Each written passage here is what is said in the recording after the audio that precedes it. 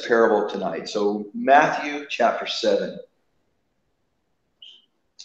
Um, we will. Um, so, so three weeks ago that I gave the introduction, part one, to the parables of the Bible.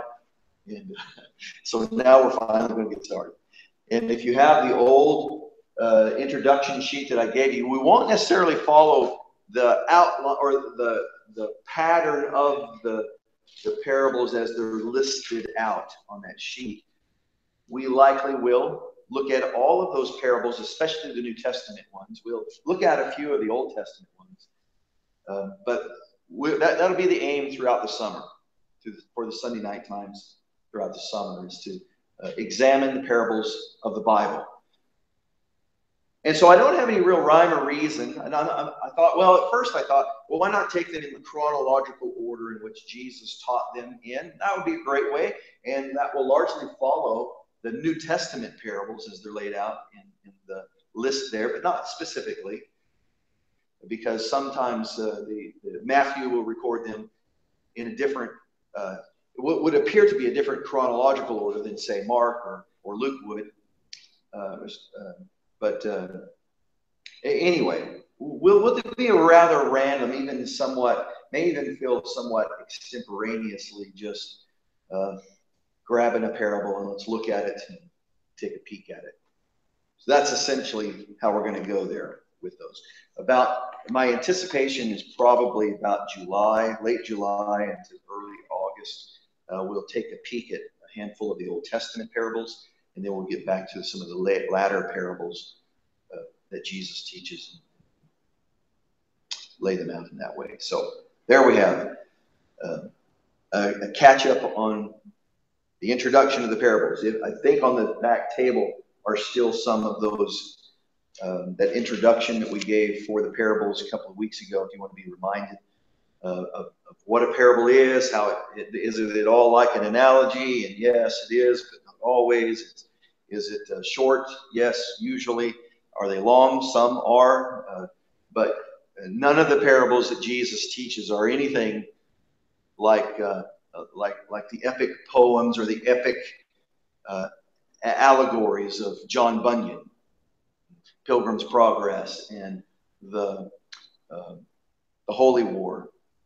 Not not at all that involved, that detailed, that that spectacular in, in, in the sense of the storytelling. Jesus's parables are generally what they, as they get recorded for us, rather short. This one that we're going to look at this evening is really just a, it's four four verses long, and uh, and and really at the end of the observation of it, it's only three verses long. We have a little bit of an introduction. What's he saying? Why is he saying this? And then we have a conclusion as to here's what he said, and here were the here were those who listened to it, and here here are those who heard it. We're going to take a parable this evening that many times gets relegated to the children's story. It's fitting for children. It's a good story. It's applicable. It's easy to understand. But the danger that we do whenever we relegate something out to the children's corner or over to the children's department or into the, the, the, the genre of children's story is that we forget to look at it. And we forget the profoundness of what's in it.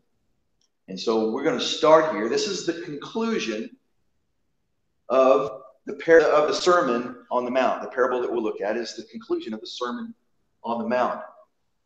Now, historians are are uh, notably they differ on is the Sermon on the Mount one continuous sermon, or is the collection of sermons that Jesus taught that then later became known as the Sermon on the Mount. Uh, I, I don't know if, if one argument is better than the other. We certainly know this that in, in the layout of Matthew's recording of this, all the way back to chapter 5, where essentially the sermon begins. So we need the setting.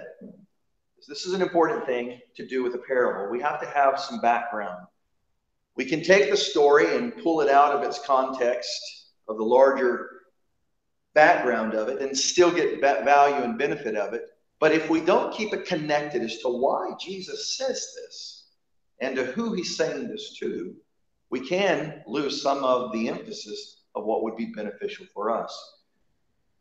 So take a step back from those three verses of the parable of the two foundations, and we observe what's the setting here. Well, chapter 5, verse 1 says that when Jesus saw the crowds, he went up into the mountain, and after he sat down, his disciples came to him. Well, we can even get some better benefit of having a, a verses from the previous chapter at large and say, well, who are these crowds that are following Jesus? Why is, why, is, why is it mentioned in chapter 5, verse 1, when Jesus saw the crowds? What brought up, what, what, what's brought up the large gathering of people? Well, it's coming from the reputation that we'll see at the conclusion of the Sermon on the Mount that people are completely struck by the authority in which Jesus teaches. Note this they are not captivated by his storytelling cleverness. That's of a whole another issue. They are captivated, we'll see it in the text, by the authority in which he teaches. So, again, from borrow some from our introduction to the parables and why Jesus used parables, again, it's not necessarily like what gets promoted today that Jesus taught in parables because it was something that everyone could relate to. His intentionality of preaching and using parables in his teaching was that his followers would know what he's saying. It was not for the benefit of the unconverted or the uninterested. His storytelling was for the benefit of the follower, that they might know what he's saying. Also, we know this about the setting here.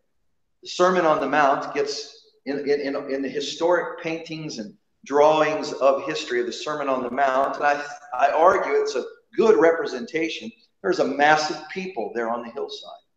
So you think about any kind of artwork you've ever seen of someone, uh, of an artist portraying the Sermon on the Mount. I believe it's a proper interpretation to put a lot of people there. The scripture says there was a large crowd that followed him. There. But Jesus was not teaching the Sermon on the Mount to the large crowd. He was speaking to the disciples, which is statistically a much smaller, uh, intimate group. So the Sermon on the Mount, even though there's a large crowd of people here, and some in the crowd, I believe, are benefiting from the teaching. But we know this that even some who are there hearing the teaching, they be, their spirit begins to become disturbed because they know this man speaks with authority and he's on the verge of ruining every trick we put in front of him. And it bothers them greatly. So, fast forward then, chapter 7, to the conclusion of the sermon. And uh, verse 24 will actually require us to look at a couple of the verses prior to this, but let's look at verse 24. Therefore, everyone who hears these words of mine and acts on them may be compared to a wise man who built his house on a rock. So let's at least deal with Jesus' setting up for making a comparison. Uh, right now, all we know in the text that we're reading, we know that there's two men that he's talking about, two houses and two foundations. But at this point, he's saying, therefore. So, in, in response to everything that I've been teaching, so think back over, he's told us about, about how men are to be blessed, uh, that we are, to, we are to be pursuers of holiness and righteousness, to hunger and thirst for the things of God, to, to be broken in spirit. He, he teaches about, uh, about adultery. He teaches about, uh, in, in, in beautiful pictures, word pictures of how people who are who consider themselves followers of God are to live their lives out. And it challenges the status of the day. It really calls them out as really not being truth seekers themselves. So when, when, the, when Matthew records this, he says, therefore, everyone who hears these words, he's, he's now addressing Everyone who's hearing the teaching, I would say, in a similar way, take a, a, a moment and consider the history of some of these hymns.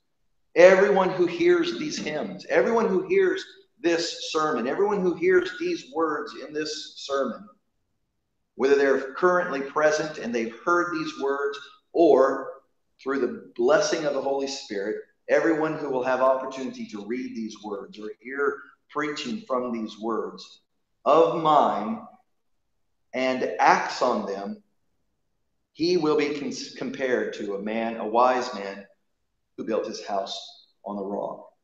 Well, let's, let me go ahead and read verse 24, 25, 26, 27. We'll use verse 28 and 29 for the conclusion of the observation of, of the parable. So, therefore, everyone who hears these words of mine and acts on them may be compared to a wise man who built his house on the rock. And the rain fell, and the floods came, and the winds blew, and, the, and, and it slammed against that house, and yet it did not fall.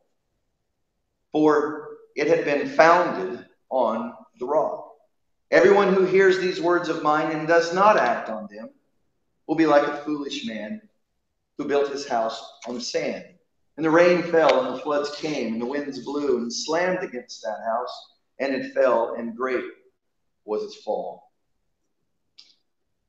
Well, just for just for the sake of, of the story here, this is not the great conclusion. Pay close attention to this, and don't worry about everything else. This summarizes everything. You know, this is a picture of those who have heard everything that's been said and interestingly, he says, and acts on these things. There's an implication. Because arguably, one could say to obey God is an act, and to disobey God is to act on these things. It's clear that he's saying those who are going to act in the positive, they're going to do these things. They're going to, they're going to follow these things. This one is like the man who builds his house on a rock. To compare the other is one who hears these things and he says it does not do these things, is still an act.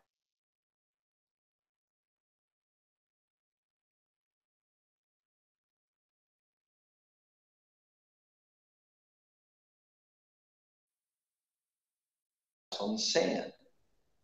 So we have two individuals that Jesus says, when you hear these words of mine, those who those who now respond or don't respond accordingly are like one of two men. Either like a wise man or you're like a foolish man. Well,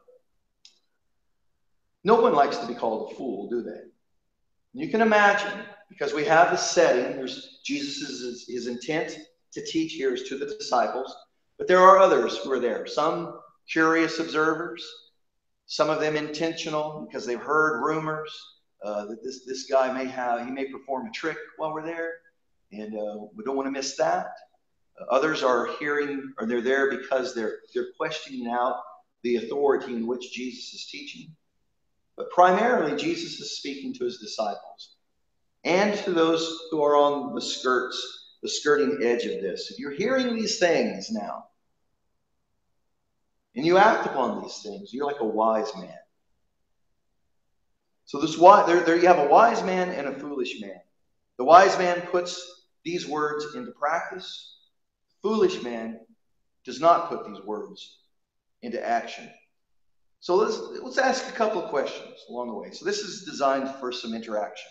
Uh, there's not trick questions. I, will always let you know with a with a parenthetical statement before I give you a trick question. And the parenthetical statement will be, "This is a trick question." Be careful. This is not a trick question. Okay, so how, how many houses appear in the parable? Two. How many, how many men are in the story? Just two. And uh, how many foundations? How many builders are there? Two. All right. So we have two houses, two men, two foundations, two builders. What are the two different kinds of foundation? Rock and sand. See, this is why this is why it gets pushed off to the children. This is this is simple, isn't it? Uh, and it's a visual picture there. This is perfect. Well, now, Pastor John, I know you know what a wadi is. I think you've even been swimming in one in Yemen. I'm not sure if I was supposed to announce that you've done that or not, but but you have. Uh, a, a wadi is a. It, you go ahead and give us a description of a wadi because you have first-hand knowledge of a wadi. Basically, a wadi is sort of the Middle Eastern version of a, an arroyo. And uh, it's basically a source, a spring or a water source that many times is a flooded water source when the rains come. And uh, when the rains come, literally, uh, those things become raging. And when the rains are not there, sometimes those wadis are non-existent. So. Yeah. So it's essentially for for a good number, maybe even the majority of the days, it's a dry creek bed, if you will. But when a, when it rains 100 miles north, you better get out of the wadi. It may not rain where you're at, but you better is it raining upstream. Because that rain, as it's as the water is coming off of the really the barren, vegetation-less hillside, water just rushes. All of it goes into the wadi. And then it essentially is a wall of water that's pushing through. And so that's part of the setting. That's part of, you just imagine where Jesus is at. Now, Steve, I don't know if on your journey to the promised land, uh, did, did they talk to you about specific places where some of the parables were taught? and you, would have a visual, and uh, I've only seen pictures, and uh, a gentleman, uh, uh the, the follow the rabbi guy, oh, oh forgot his name. I, his name's on the tip of my tongue. Anyway, he has a he, he's done a lot of research, and so to get the visual aid of exactly where Jesus is at when he's teaching a parable such as this, everyone present knows what a wadi is, and they know exactly what he's talking about. That they're in a place, they're on a hillside, they're on a they're on a place where if it were to rain upstream from here, we would see a wall of water rush through this place. And Jesus is essentially using the setting of where he's at. Simple, it's practical, it's visual, but know this, he's not doing this to impress people. He's doing it and he's using the simplicity of it to teach profound, deep theological things. So it's not just a, a good little story where everyone goes home and says, yeah, I get that. I, I know what he's talking about. Think about this further. Uh, maybe for us as Westerners, the best picture of a wadi would be I, I've never done extensive, well, I think only one, maybe one time in, in a, a journey Renee and I made through Arches National Park, or was it Zion National Park? I don't remember, but a very similar type of terrain where there's very little vegetation around, and when it rains, the water just doesn't, the, the, the ground just doesn't absorb it. It's like it's raining on pavement. And so the water just accumulates and rushes. And there's signs that you cannot be in this place when it's raining. And uh, if there's if there's even an idea, and usually in the late afternoons in certain seasons of the year, especially whenever the monsoon season is in place, you just have to be a smart person and avoid these places. Um, otherwise, you're likely going to die. Yeah flash flood where the ground is either completely saturated, and no longer absorb anything, or it's so hard that that, that water just rushes off of it. Um, maybe to just drive that point even one step further, I collect rainwater off of one side of my, uh, of, I would say my, it's Renee's studio, my garage, but it's her studio. I collect water off of, of one side of it. And and you do you know that a three tenths of an inch of rain will fill up 300 gallons of water? I'm shocked by it every time I go out. Wasn't much of a rain. And you go out there and I can't move the water barrels. They're just packed full. So it doesn't take a lot of rain for a lot of water to get rushing, moving along. So Jesus is saying here, there's two types of builders. There's two men. There's two kinds of foundations. Now, he doesn't say this, but you can almost visually see. Now, take a look at that guy over there. Look where he built his house. And I want you to pay close attention to where this guy built. Two different places. One is on a high place, one is on a rocky place. Probably really difficult to get to, hard to establish a place of, of, of residence in that place. But look at it and pay attention to it. And now look how easy it was. This guy could drag up the timber to build his house down from downstream. He could just pull it up on that soft, smooth, sandy creek bed. That's easy, quick to do, and why not? Why not work easier than work harder? So he's making essentially a visual that everyone who's here is present is getting the setting. They see in it. So, so we know there's two men. We know there's two foundations. We know there's two houses. We know there's two builders two men, two builders, two, two kinds of foundations. Also, note in, in the parable, verses 24 and 26, uh, who does the rain fall on? Yes. Whose house does the wind blow against? Both of them. Whose house is caught in a flood? Certainly the foolish man's house the waters rise and put the man who's built his house on a rock even at risk. So the rains have fallen, the winds have blown against them both, and the floods have come up. Both in both accounts, verse in verse 24 and verse 26. See it again. The, the, the acts, so, so pay attention to these things Jesus is saying. And that he may be compared to a wise man who built his house on a rock, and the rain fell, and the floods came, and the winds blew. He's speaking about the man who built his house on the rock. The rain fell on it, the floods came up, and the wind blew against it. what does Jesus say is the, is the end of that man's building? Yet it did not fall, for it's been founded on the rock. Now, we get this about Jesus. He's not just making a statement about construction. He's using something that the, the audience, the, these disciples would get this. Those who, who, who are even unconverted would get this. Yeah, yeah, that makes sense. You know, who builds a house on, a, on sandy soil? Nobody does that. Well, apparently some people do. Who builds houses where wildfires are going to rush through? Well, nobody would do that, right? apparently, you can spend enough on insurance, you can build anywhere you want to. Uh, who builds on an earthquake fault? Well, apparently lots of people do. so just because the common man says that's the best place to build, and, and, and nobody would even dare think of doing that, obviously lots of people do.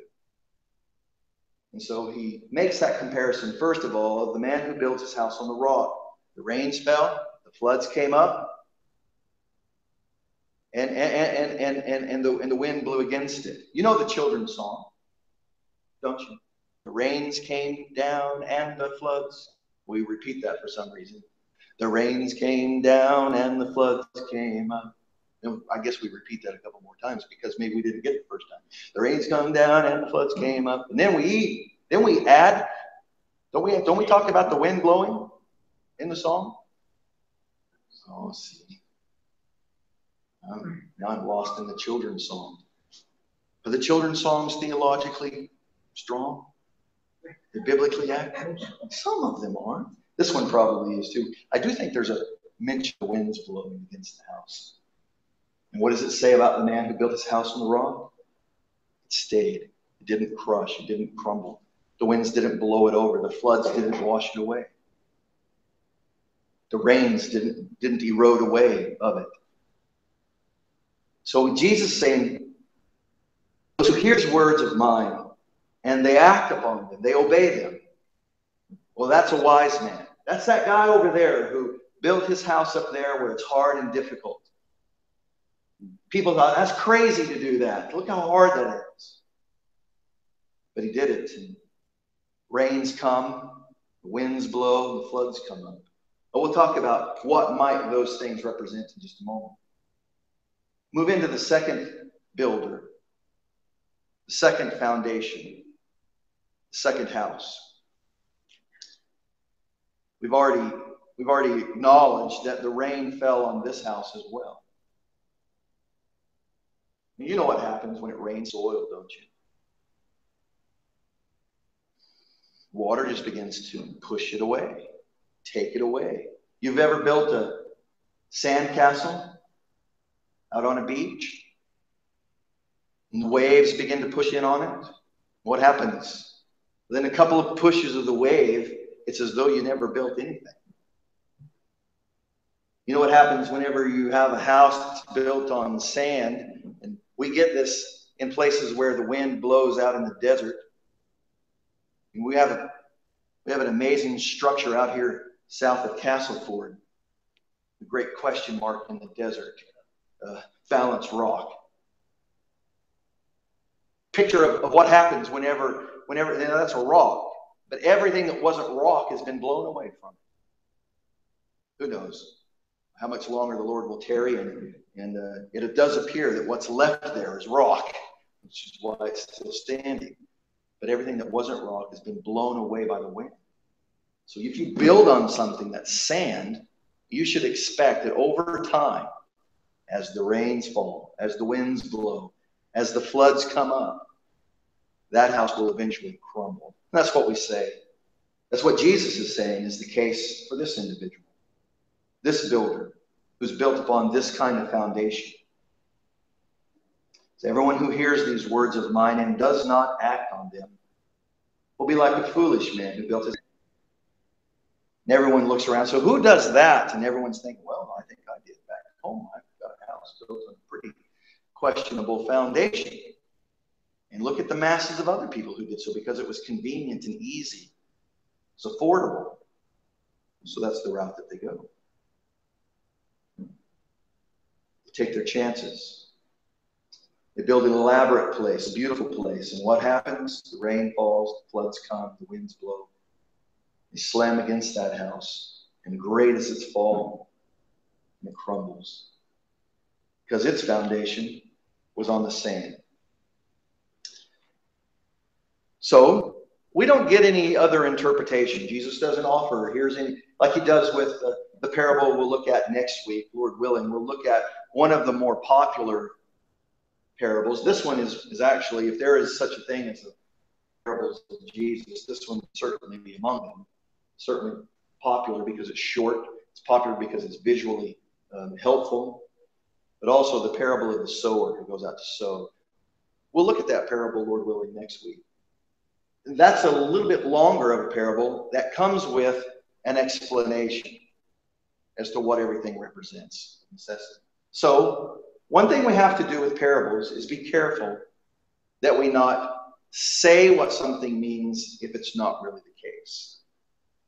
But we can also look at this and, and make some assumptions and make some, some caricatures about what do you think Jesus means when fall and the floods come. Is there, is there a parallel to what he's meaning?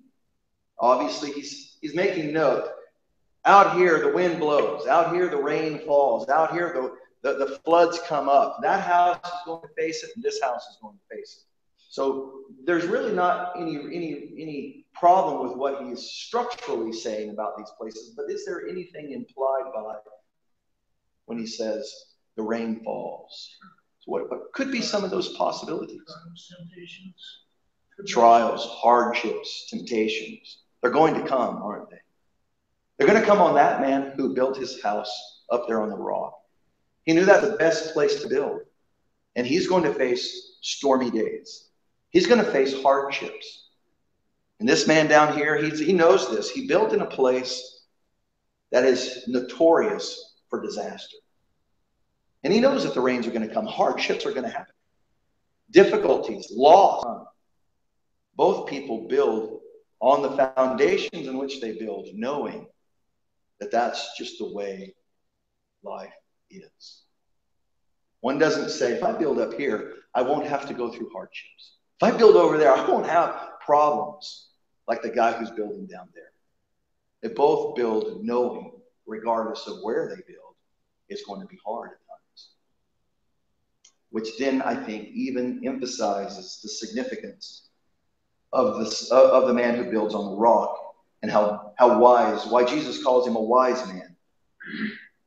And, and why, he, why the one who builds in the sand he calls a foolish man. They both, difficult days will come. They both know the rains will fall, the winds will blow, the floods will come. The end result is the one who hears these words of mine and obeys them. He's like that man. The man who hears these words of mine and does not obey them is like that man. Both know difficult, hard, unexplainable days are on the horizon. So that can be a, and, and I believe is a benefit for us to see in the story. It's pretty profound, isn't it? I think it's important that we as Christians get this.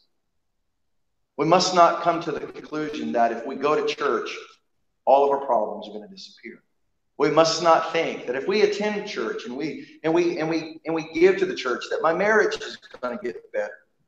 We cannot assume that just because we we obey the commandments of God that all things now are required of God for my life to go smooth and easy. You do not come to God foolishly, uninformed. This world carries with it difficulties that come upon those who build in smart places and those who build in foolish places. This man, Jesus says, is smart. He's, he's wise because he's heard my words and he's obeyed my words and he built there because it's going to be hard at times. Temptations are going to arise. How is he going to overcome them if he's built? Listen, an alcoholic doesn't go and build his house inside of a bar.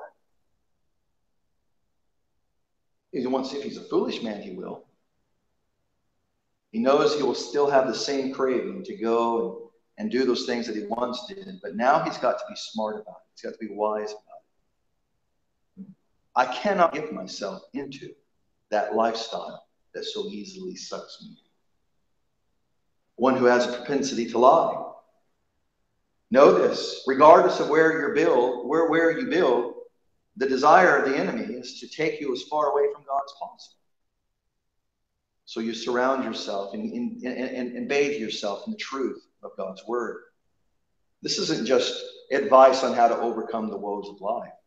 This is essentially speaking about eternal life. wise man who hears these words of mine and he responds accordingly. This man has weighed the cost of all that he's doing. And he sees that this place upon the rock. So, who is the rock in the story? By the way, I should ask that question a couple of moments ago. Who is the rock? It's not a trick question. it's an easy answer. Whenever we're looking at parables and parallels and what do they what do they represent? Yeah, the rock is Christ. And, and so ultimately, not about builders. The parable is not about houses. The parable is, is, is about foundations. The foundation of the rock, the Lord Jesus Christ. So, so there is the one notable, visible foundation that Jesus makes note of. And he, he calls it the rock. This man built his life upon these teachings of mine, knowing that if he's going to survive the hardships of the everyday world, this is where we build it. We build it on Christ and Christ alone. So, to, to, to, to look at the conclusion back to the context of the verses before and the concluding moments of verse 28 and 29. When Jesus had finished these words, let, let's, let's make note of this parable. If all we do is think Jesus only meant here, when it, or that, that Matthew is saying, when Jesus finished speaking this parable, all we'll do is, is think about how cute and how good and what a profound little story that was. What words has Jesus just finished speaking? From chapter 5, chapter 6, chapter 7, what's called the Sermon on the Mount. As when Jesus had finished these words, what, is, what does the text say about the response of the people responding to his teaching. They're astonished. Their, their jaws dropped. They're amazed. Now keep in mind, the parable of the, of the foundations is not what has jaw dropped. They're not amazed by, oh, I never thought of that before. I'm going to go home and move my house to a better foundation. That's not what they're saying. They are amazed. They're astonished. They are shocked by what? By his teaching. And what does verse 29 say about his teaching? For he was teaching them as one having authority. I think it's noteworthy. Believe the Holy Spirit inspires the words that we read of in the scripture. And I believe it's very noteworthy that Matthew doesn't say the people were entertained by his ability to tell a cute little story. They are amazed by his teaching. And the amazement of that is one who's teaching and one having authority, not engineering authority of where is the best place to build a house. Encompass all of the Sermon on the Mount in this observation that Matthew makes. And he's saying this Jesus is one who's teaching with authority. And notably here, the conclusion of verse 29 not as their scribes.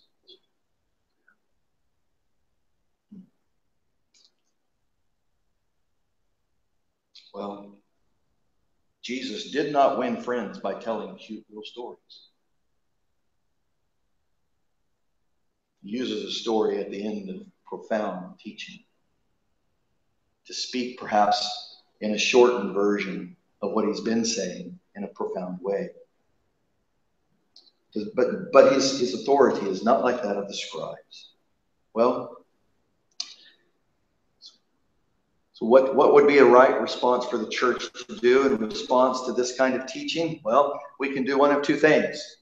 We can adopt the methodology of short, concise, cute stories to entertain people, or we can include the whole of the sermon and see the profoundness and the authority in which Jesus teaches.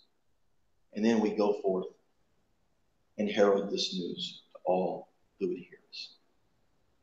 Now, that doesn't mean that we don't do anything for the benefit of those who are skirting the edges and are on the periphery and not sure about what's what's happening here.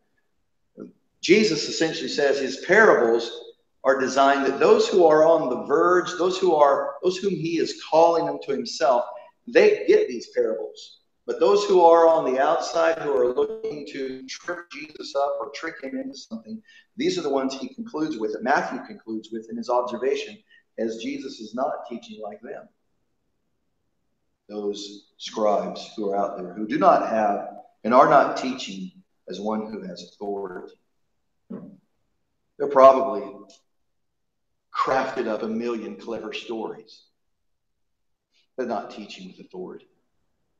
And essentially, the Sermon on the Mount is Jesus kicking the chair out from underneath everything that the scribes had been doing. They were amazed. They were astonished. They were shocked, even. I think that shock fell on both those who hated Jesus and those who were saying, I get it. I understand it now. Not because of a clever little story, but because Jesus was speaking authority that the others had never spoken. Well, it's a very familiar parable. And uh, I think it's worthy of of extension and meditation upon. It would even it would even mean I think whenever Joel Beeke makes observation about how the Puritans meditated on Scripture. Let me leave you with this: that Joel Beeke made this observation of the Puritans, that whenever they would read a piece of Scripture, perhaps like this, that they would then they would discipline themselves. He doesn't say this specifically about this piece of text, but this is how he would teach about how the Puritans would essentially disciple, discipline themselves to meditate on Scripture.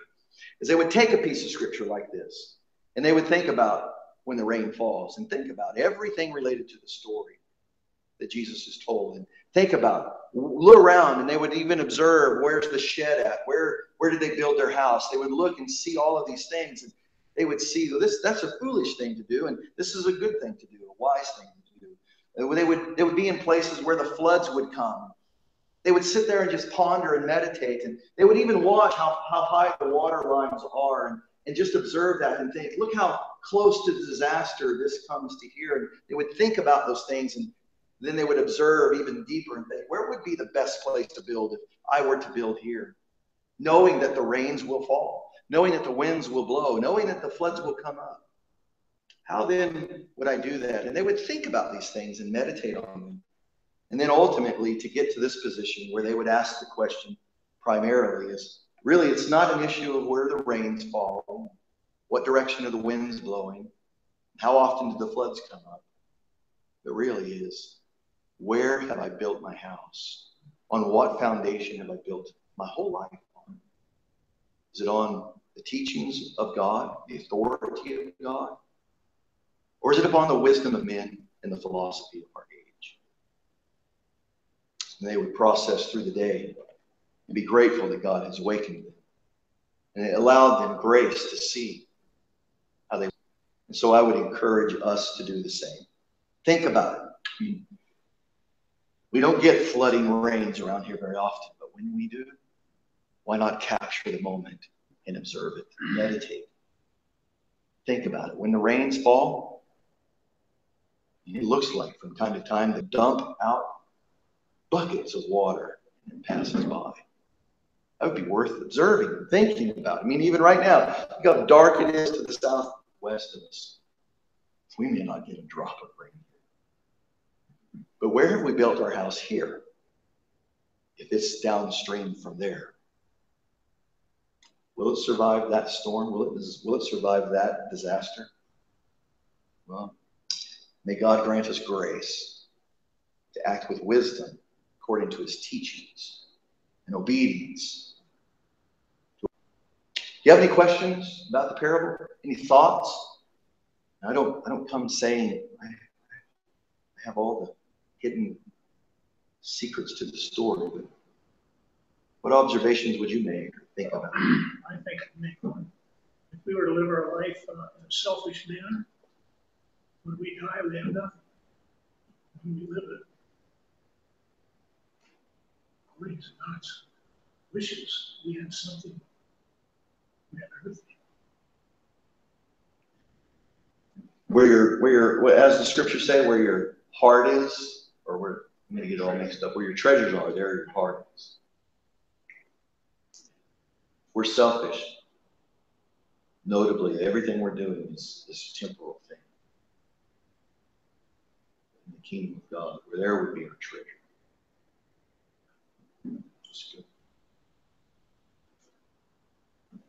I like this he's talking about everyone hears these words of mine and acts on them. But I look at that therefore, it's what was said right before that.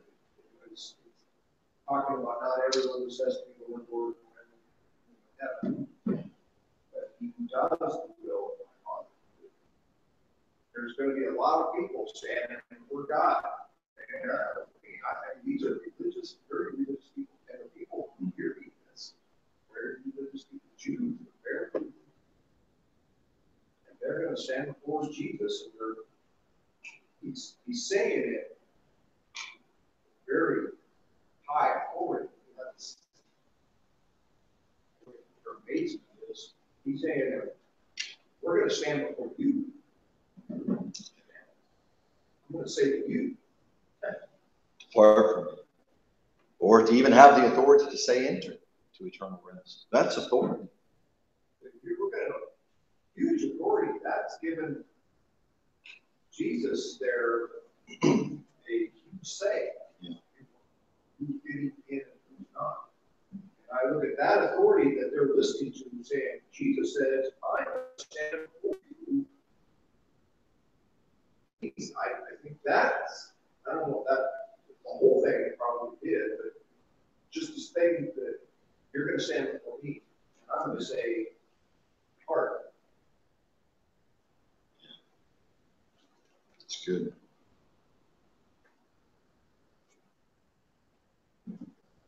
So we should go with the desire to want to behave like the wise man.